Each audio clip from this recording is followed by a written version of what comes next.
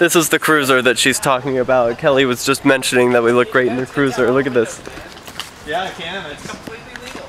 Yep, because it's Wisconsin. Cop Block peace squad. Ah, that is great.